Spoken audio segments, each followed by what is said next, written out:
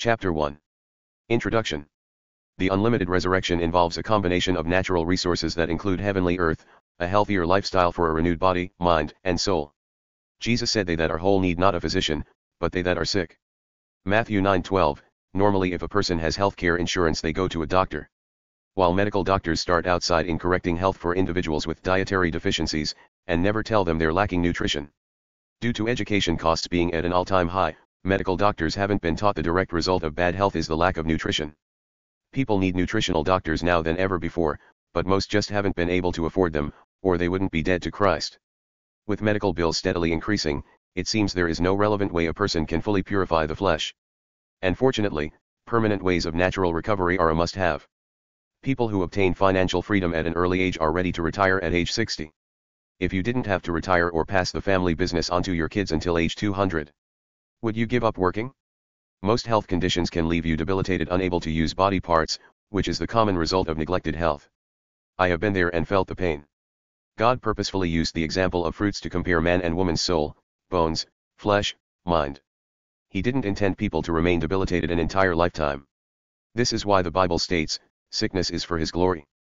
Most Christians exhibit their works to show him they won't become a fallen angel, performing routine work inside church communities.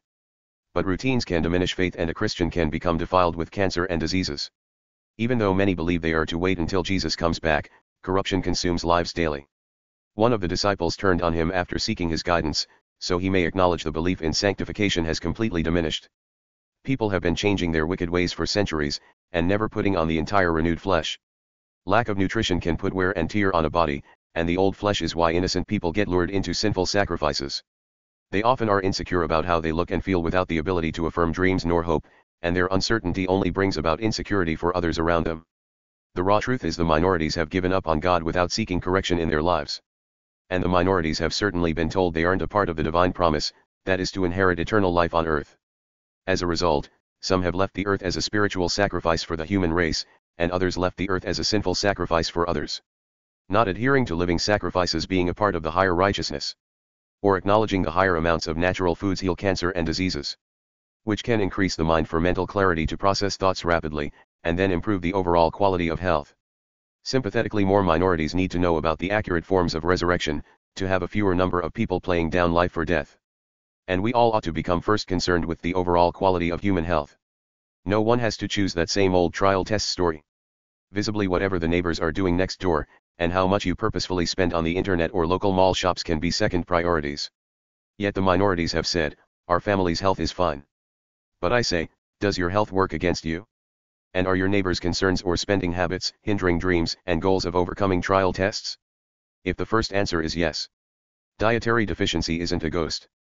A person may appear as though they have seen one when they aren't concerned about them. The youth can visualize whether they are eating healthy or not, and they can give a precise answer without an indication of their dietary deficiencies. Once they do know whether their health is bad or good, they plan the next goal, and normally if it is worse the next goal will be worse too. Example, certain teens admit to getting enough natural sources of fruits, vegetables, and meat. This is when they start preparing for college, and their next career goals. These teens collect massive amounts of personal belongings.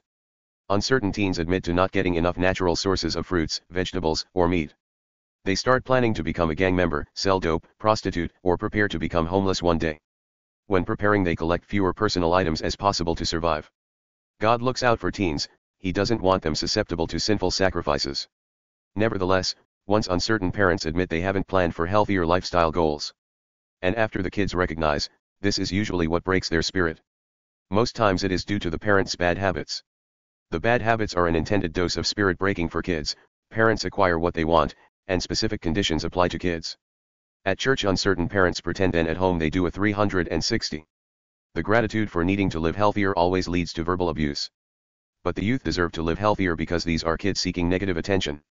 No matter what, children are constantly hearing in church, children, obey your parents. When accompanying a spirit-breaking parent, it is obvious a child is going to rebel.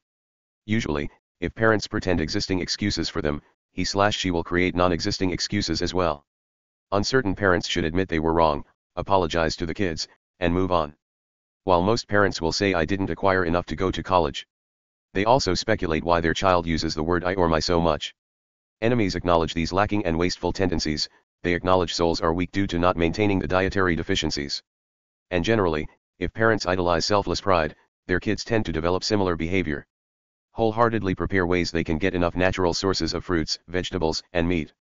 This is to acknowledge them as a part of the one human race seeking the divine promise, if not choose vitamins as the alternative. Also, God didn't intend individuals to eat pig constantly, small amounts of a pig aren't as bad. Eating pig consistently hinders a child's development, to perform in athletic academics or carry bags of groceries in from the car. Just another way some parents are breaking their child's spirit. The body becomes weak and unable to respond automatically. It is a cop-out for not choosing quality sources of meats. If you want healthy kids and teens it will require discipline as an adult. And the human race needs to stop wallowing in mental disorders, it sets the people around up for disheartening grief. A medical doctor can only do so much. A form of resurrection started with Jesus, it is history unfolding in our faces daily, and anyone is blind without direction. Jesus believed in higher righteousness and the powers of revivification. He wanted to save the sick from death. Don't give up, he first has felt our pain. Having said that, these are obvious reasons why we have a fruitless nation and less righteous areas in the world. And apparently why more people need joy back in their life. Jesus said blessed are they which do hunger and thirst after righteousness, for they shall be filled. Matthew 5, 6, and for more people who neglect their health to have an angelic appearance as Jesus did, it is necessary to regulate the dietary deficiencies. Monitoring the daily intake of food allowances will repair dietary deficiencies for the lack thereof. Since the beginning of time, the great possibilities of purification through natural foods and water has been well known. But fewer people are drinking fewer amounts of water, and then becoming incapable of purifying. The individual sowing of the garden has remarkable benefits long-term wise for health, but not enough are gardening either. Unfortunately, most people value a universal fantasy afterlife with glorified bodies. You are worthy now of being able to give him glory for human health, just as other things were created for his glory. All this is to become compassionate about natural ways of gardening, to reign victoriously in the inheritance on earth, the kingdom of God, and earn an eternal harvest through living sacrifices. This applies mostly to eastern, northern, and western region states, where prices of natural foods are estimated to be at an all-time high. After an applied effort, a renewed angelic human appearance will reign supreme, and then you will feel clarity and visualize more reasons for the universal healing. God does want what you are smart enough to want for yourself, so take hold of this new lease on life. Coming together to heal nations will increase the value of human life and the earth's atmosphere a hundredfold. The righteousness of the perfect shall direct his way, but the wicked shall fall by his own wickedness. Proverbs 11 5 Although the goal is to live until 950 like Noah, more people must want to remain undefiled to experience heaven on earth. No one will ever be as honorable as Jesus was however, you don't wait for an afterlife to overcome the defilement of the flesh. Believe in the unlimited resurrection as a natural way Jesus' spirit can live within a person because not believing is the common way people walk after defile flesh. Through his natural guidance eternal life is possible, to give him glory sooner rather than later. It will give hope and value to lost souls. In this book, we will discuss relevant knowledge to become sympathetic mainly to understand how defilement of health, stands in the way of a person performing to their full capacity physically. Also, we will discuss climate change to understand how more people growing natural foods can help. Notably, I have been to many churches of various religions to virtually consider what Christ meant to others. They were delusional about what eternal life on earth meant, and remarkably it is endless time or long as life takes you. The religions were Baptist, Methodist, Pentecostal, and non-denominational. Sure, you and I can read the Bible, and not get the same understandings. Visiting multiple churches helped in writing this book. I discovered all associated with God, Jesus Christ, and the curse in the same manner. And as expected all resulted in their own opinions and traditions undermining the church Jesus established. The main concern involves idolizing traditions of religious men rather than basing success upon God's standards, just as Jesus stated. Unfortunately, this form of devaluation of human life still exists. Baptists and many others believe you wait till Jesus comes back, to be given resurrected glorified bodies for the fantasy universe after life. There were differences, with many existing beliefs, religions, and values. Once you believe read the Bible for your interpretation to avoid verbal disagreements over biblical meanings. I am a messenger. God has presented to me the future vision of the dietary business and I clearly explain it in full detail throughout this book. These are the reasons why other plans are subject to change. It was revealed through his signs and wonders of calamity, flooding, and thunderstorms there is nothing to boast about only steps to carry out. Another aspect of religion is that prophesy predictions haven't been supported for quite some time now. That too is subject to change, change must come in due time to not have to tell the same old trial test story. Prophesy predictions I do discuss in my book The Spirit World of Demons. Otherwise, I agree he has control over what I do as well. Consider traveling through the journey of life looking for nine anchors in the water with life written on them. Grasp hold of the first 100 year life anchor, keep on moving to the next and next eternal anchor.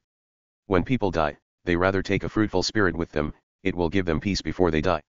While all these are answers to not giving up, you will see the power of God in an angelic and fruitful way, in the appearance of health. It attributes to the person acknowledging facts or information that help them inherit eternal life on earth through living sacrifices. Everything fades away, but the flesh should honor God to remain in heaven on earth. If you're reading this book, from the privacy of your own home, get plugged into a local church for coming together to heal nations. Encourage individuals around you to do the same, if they are not a believer of Christ. Choose a church that fits your needs and choose wisely. It is wise to find a church that admits the eternal life on earth can be acquired through Jesus Christ. If you are not a believer yet, pick yourself up when making slip UPS in faith with God. He is the only hope for eternal happiness. And when voting candidates in government offices also choose wisely there is a consequence with every choice.